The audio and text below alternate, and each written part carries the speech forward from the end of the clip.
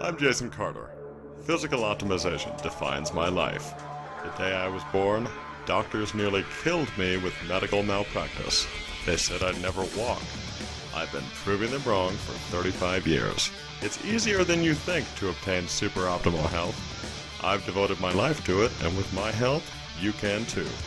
I'm Jason Carter, and this is Enzymental.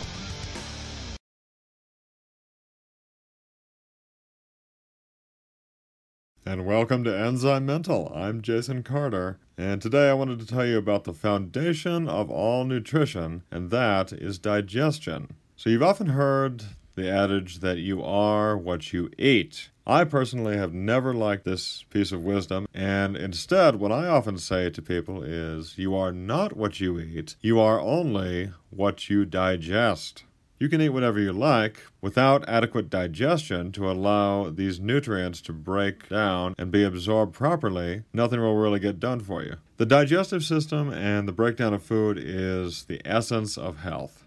So, without digestion, these nutrients will not be absorbed, and then your cells and tissues go without what they need to do their job. So, one way to maximize digestive care is to take digestive enzymes. So, there are two primary categories of enzymes when discussing the breaking down of food. Typically, it's plant enzymes and then digestive enzymes. Plant or food enzymes include protease, which digests protein, amylase, which digests carbohydrates, lipase, which I've talked about before in the digestion of fat, and then other enzymes like maltase, sucrase, and lactase, which break down different kinds of sugar. So these food derived enzymes help to pre digest the food. Digestive or pancreatic enzymes like pepsin, trypsin, lipase, protease, and amylase are mostly produced in the pancreas and secreted in the GI tract to finish the job of digestion. Although our body makes pancreatic enzymes, their production, like everything else, diminishes the older we get. Furthermore, they're not meant to be the body's sole source of enzymes. Food enzymes will give the pancreas a much needed and well deserved rest from having to compensate for inadequate pre-digesting. So when you eat a processed or overcooked meal, the enzymes in that food are neutralized, so the pancreas has to overwork, and over time this can lead to pancreatic dysfunction. This type of diet actually robs the enzymes that would have been otherwise used to support glands and other essential functions, and this is something that Dr. Edward Howell, a pioneer in the research of enzymes and digestion, was very adamant about relying too heavily on the pancreas for all digestive needs actually shortens your lifespan, according to Dr. Howell, and this actually increases illness, creates an enlarged pancreas over time, and lowers your resistance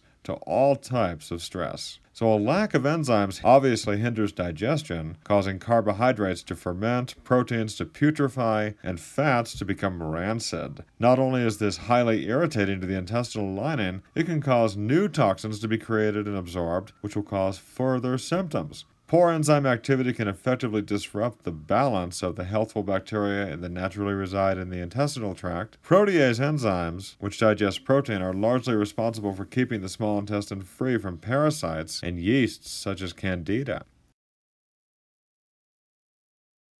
Enzymes are found in uncooked whole foods and they are extremely heat sensitive. And any cooking temperature above 118 degrees will destroy these delicate enzymes. So, this includes most cooking and baking, blanching, pasteurizing, canning, and certainly microwaving. Almost all traditional societies incorporate some form of raw enzyme rich food into their diets, such as raw dairy foods, fish, vegetables, and or fruits. Ultimately, it's best to choose organic organic varieties of raw foods, pesticides not only block a plant's absorption of nutrients needed for enzyme production, but also prohibit the body's enzyme systems. Nature provides the needed enzymes. For example, avocados will have a high amount of lipase to digest its fat, and a pear contains more amylase to break down carbohydrates. Although most fruits and vegetables contain enzymes, several foods are abundantly endowed, including extra virgin olive oil, raw honey, figs, sprouts, and many tropical fruits including dates, bananas, papaya, and pineapple. Dr. Howell also observed that salt is a powerful enzyme activator. This typically comes from the minerals that you find in sea salt, not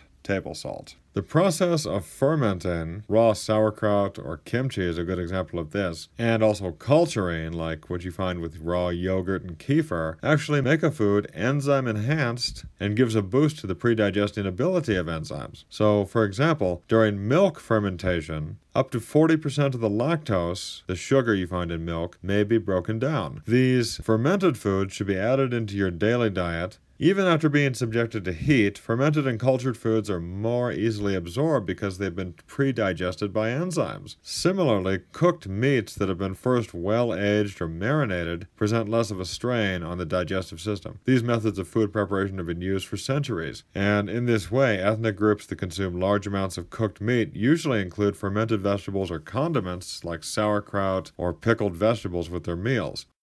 Optimal wellness begins with proper absorption, and enzymes are the mechanics that allow that to happen. There are many benefits of enzymes beyond digestion. So, when you're cooking, try to lightly steam or bake, stew or stir fry, or even use a slow cooker like a crock pot.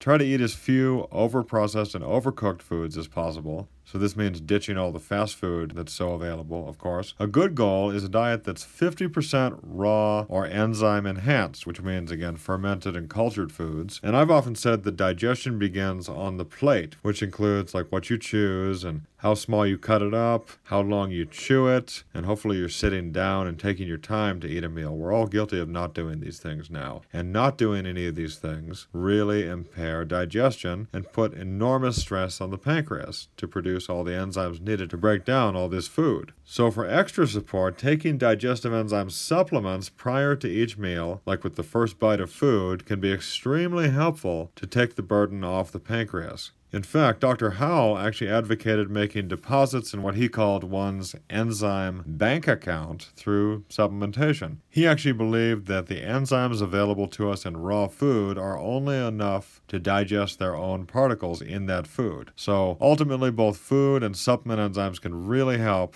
to take enormous pressure off your digestive organs and help you to get the maximum nutrition out of what you're eating.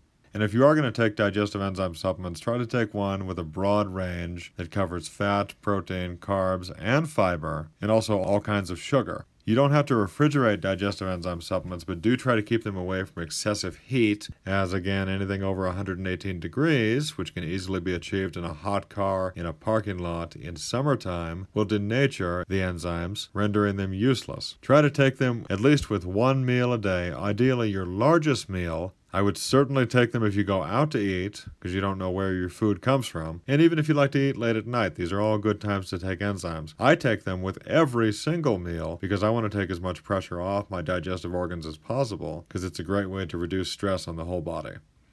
Thanks for watching. I'm Jason Carter, and I'll see you next time on Enzymental. Stay healthy.